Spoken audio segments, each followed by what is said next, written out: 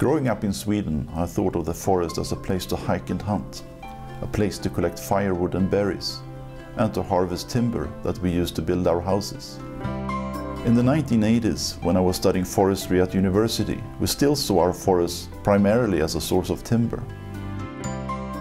But then scientists began finding evidence of climate change and how forests mitigate that climate change by absorbing and storing carbon.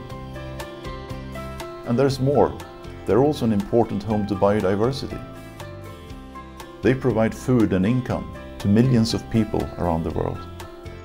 And they collect and filter rainwater used to irrigate farmland as well as to supply villages and cities. We know all this, and yet more than 5 million hectares of forest are being lost each year. In today's world, where the competition for land and our demand for food has never been higher, what policymakers need is watertight research. And that's where we come in. CIFOR's global team of scientists are researching every aspect of forestry and landscapes. We're providing evidence of the contribution of forests to humanity.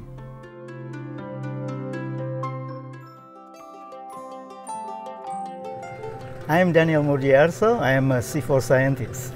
I became interested in forestry growing up in a very poor forest community here in Indonesia.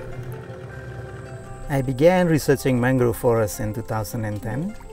We spent several months climbing through this mangrove, taking measurement, collecting sample for analysis in the lab.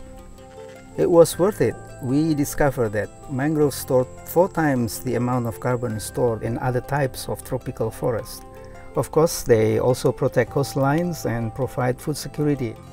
When we made this discovery, half of the world's mangroves had already been cut down.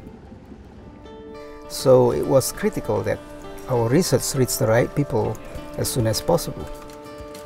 So my team worked with our communication team to get the message across to policymakers, scientists, NGOs, and through the media to the general public. All of this work to get the mangroves onto the global climate change agenda finally seems to be paying off.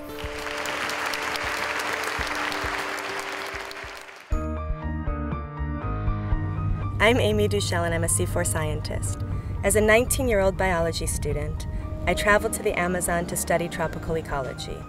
I realized then that these forests were home to extraordinary biological and cultural richness, but that they were also being threatened by multiple interests, such as unsustainable logging and cattle ranching.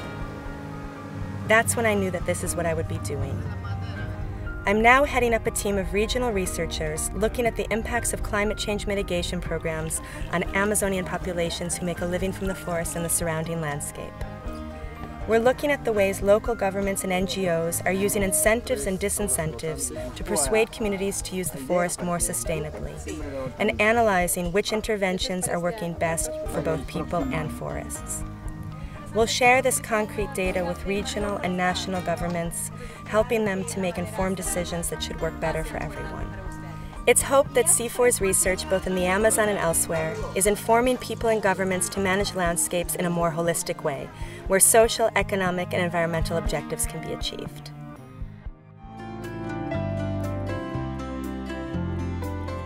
My name is Felicien Kengoum. I'm a political scientist uh, based in uh, the Central African Regional Office. My name is Bronwen Powell. I'm a research I'm a fellow. scientist in the lab. legal logging and forest certification. Forest and food security and My name is Ted Lennon and I'm a political It's really. With more than 200 scientists across the tropics and the largest body of global forestry research, CIFOR provides decision makers with evidence. Evidence that they can use to improve the lives of people, safeguard the environment, and ensure healthy forests for future generations.